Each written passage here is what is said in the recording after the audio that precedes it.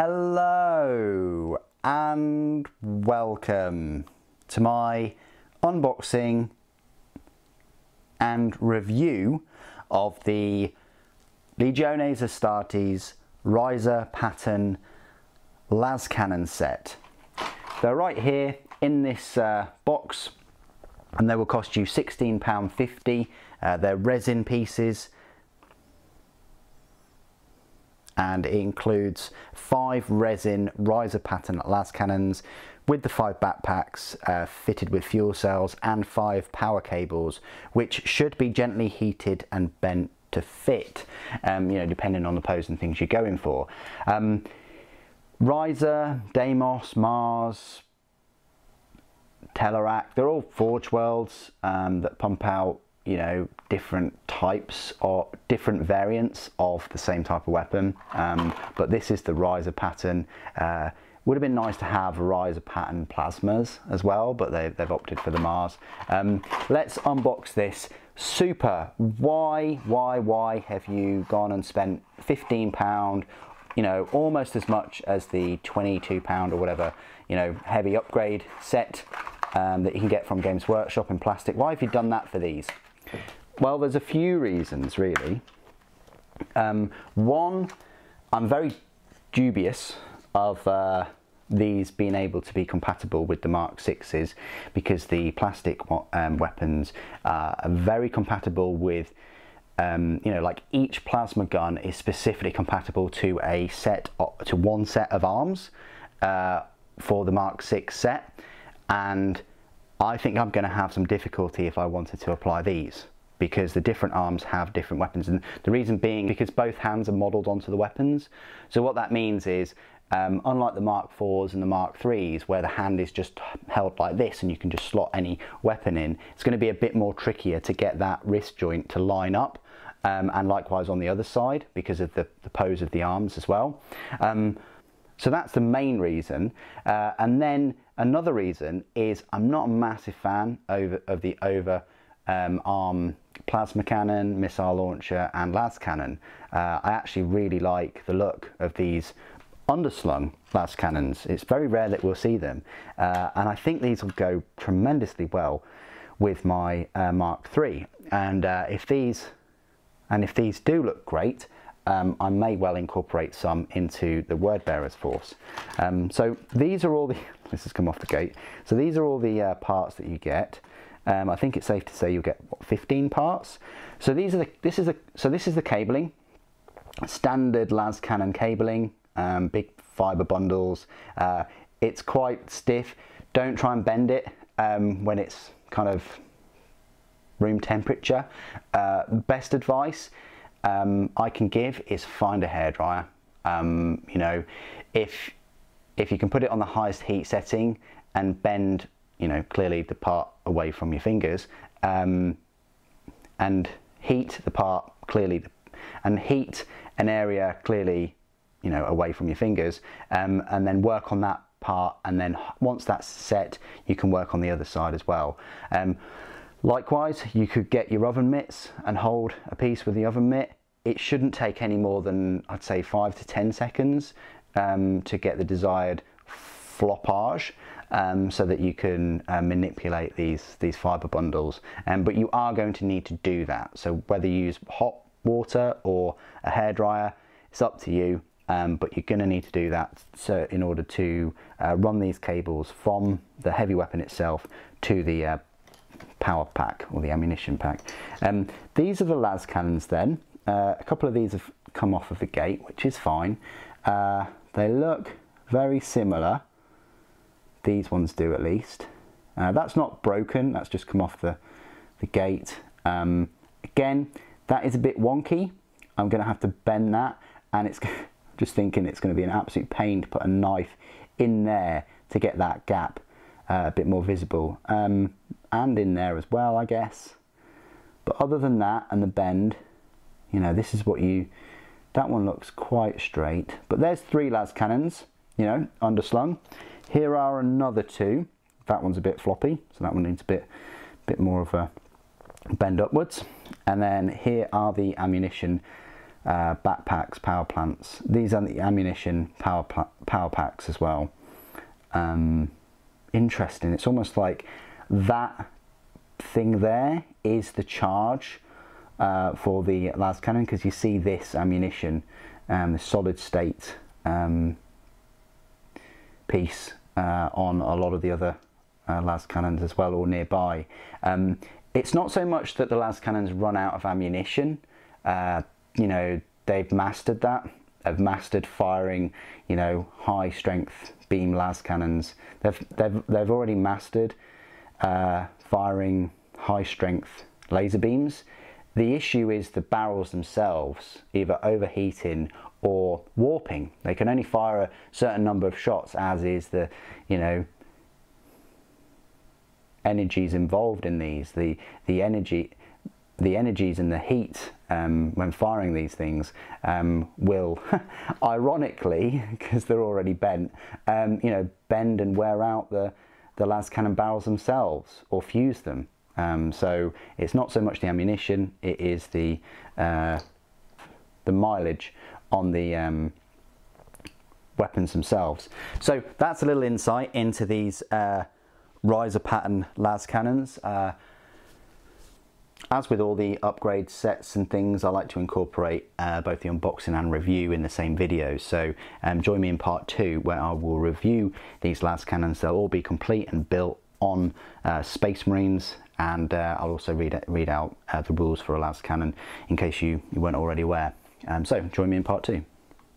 Okay, and here we have the uh, Ryza pattern las cannon set, all built um, on Mark III armour, uh, Dark Angels, Space Marines, and I've used the Dark Angels um, helmets and heads, as well as some of the um, shoulder pauldrons.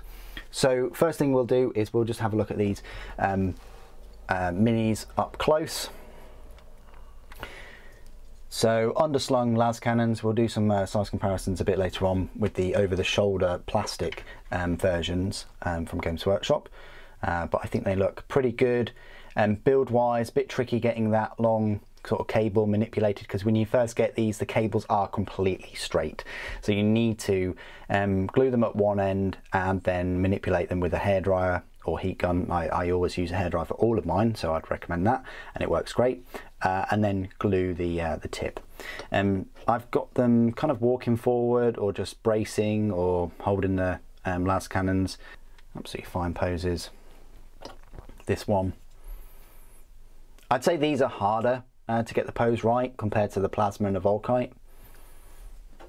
Yeah, you can see some Dark Angels uh, shoulder pauldrons. Maybe it's a waste putting them on heavy support unit rather than like an elite unit or a close combat, but um, this is the uh, the look I I was going to go for.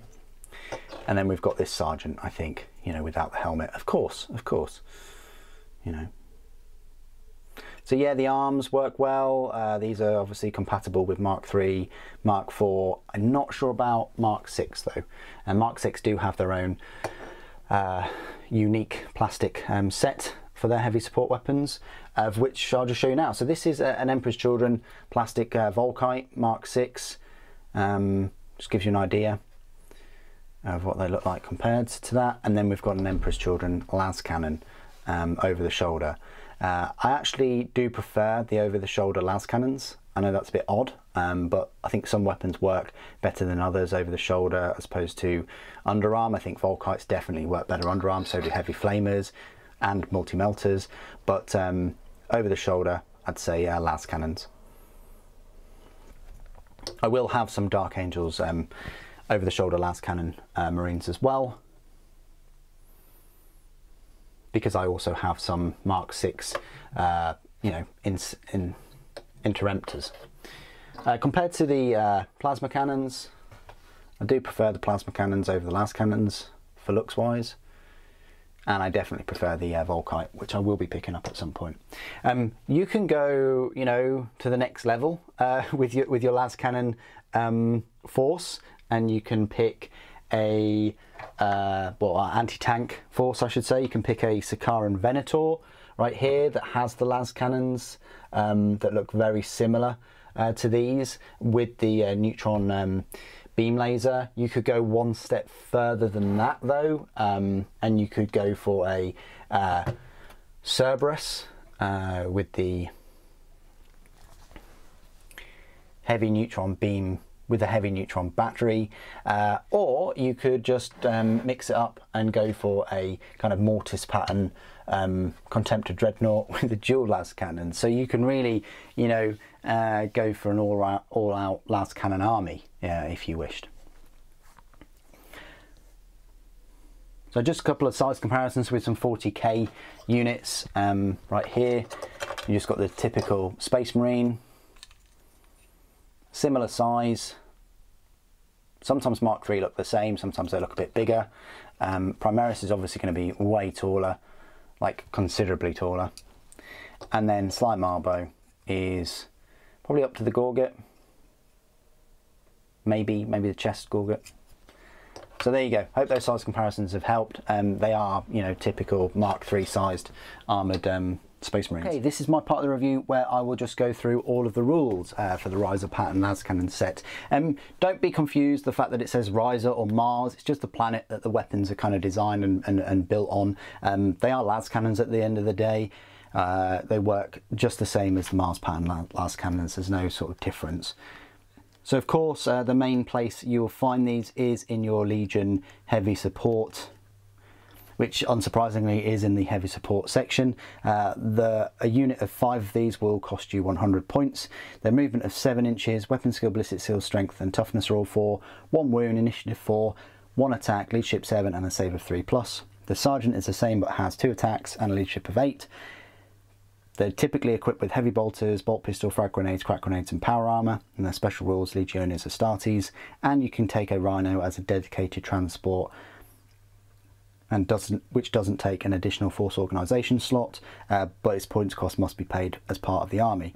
Uh, you can include an up to an additional five legionaries um, at 15 points each, so you can get 10 uh, for 160 points. You can take a Legion Vexilla for 10 points, an, an Augury Scanner for 10, a Nuncio Vox for 10, um, and all models in the unit may exchange their heavy bolters for one of the following and they all must take the same option. Very important that. Not like your Devastators of 41st Millennium where they can just pick and choose. Um, the heavy flamers are free, auto cannons are 5 points, missile launchers are 5, multi-melters are 10, plasma cannons are 10, Volkite culverins are 5, and las cannons are 10, and the sergeant may take artificer armour for 10 points. So I've gone for one of the most expensive um, choices there uh, with the las cannons. Um, so that unit would cost me 150 points if I was to, to field it. What you're getting with those points though is yes you're only getting 10 space marines but you are getting one of the most powerful weapons you know man portable weapons out there in the well 31st millennium and the 40 um, first millennium really. Uh, and that is the las cannon. It's like a sniper laser cannon weapon. Um, it's absolutely fantastic at taking out heavily armoured units, dreadnoughts, tanks, even other space marines and terminators. It's a whopping 48 inch range. It's always been that range from as far back as I can remember. It's always been one of my favourite weapons. It's a strength 9, it's AP 2, it's heavy 1 and it has the rule Sunder. Uh, the rule Sunder um, attacks with the special rule may re-roll failed arm penetration rolls against vehicles and buildings.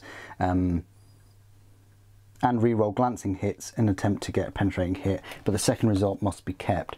Um, so that's pretty good. You know, they are dedicated kind of anti-tank, anti-vehicle um, uh, weapons, so you're going to be able to re-roll those penetrating hits because of that Sunder rule, and that's a, a new rule that hasn't really been around in, in 40k so um, just bear that in mind it's, it's often overlooked but it could make a massive difference um, you know if you're only getting glancing hits because of like a Spartan's flare shield or Cerberus flare shield, something like that.